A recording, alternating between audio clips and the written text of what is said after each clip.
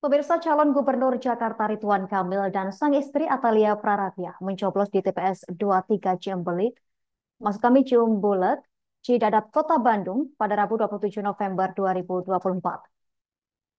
Ridwan Kamil datang ke kediamannya dari Jakarta pukul 10 lebih 15 menit waktu Indonesia Barat di Jalan Gunung Kencana, Ranca Bentang, Cidadap, Kota Bandung, Kota Bandung, Jawa Barat.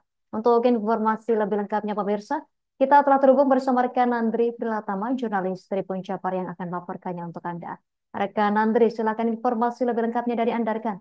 Uh, Iwan Kamil sempat uh, diwawancarai oleh awak media yang memang sudah menunggu di kediamannya itu dan dia be, uh, menyampaikan uh, beberapa harapan terkait jalannya pesta demokrasi ini dan juga sempat uh, Iwan Kamil pun menyampaikan harapannya kepada pemimpin Jawa Barat nanti yang akan terpilih, yang tentunya akan melanjutkan uh, kepemimpinannya ketika dia menjabat sebagai gubernur Jawa Barat.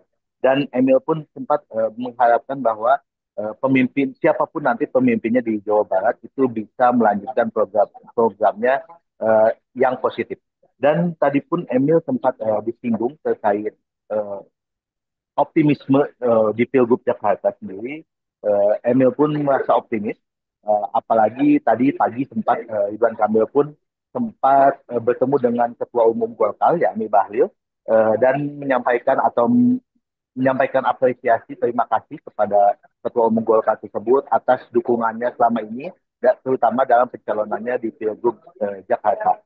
Dan tadi pun Ridwan Kamil mencoblos bersama sang istri Uh, kemudian setelah itu serangkaiannya dia uh, mendatangi ibundanya di wilayah Cigadung uh, dan kemudian kembali ke uh, Jakarta untuk uh, meninjau hasil uh, penghitungan cepat. Dan sejauh ini di TPS 23 itu sudah berjalan penghitungan suara untuk Pilgub Jawa Barat. Dan tadi hasilnya sempat uh, didapatkan bahwa uh, pasangan Deddy Mulyadi dan juga Ewan Setiawan unggul uh, dari pasangan-pasangan lainnya.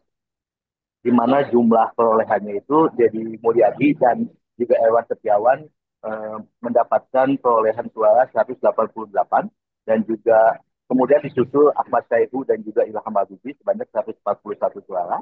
Kemudian uh, pasangan baik JJ Ronald maupun Aceh Gita itu masing-masing mendapatkan sekitar 12 suara dan juga suara tidak sah itu sebanyak enam suara. Mungkin uh, itu uh, Justina yang bisa disampaikan.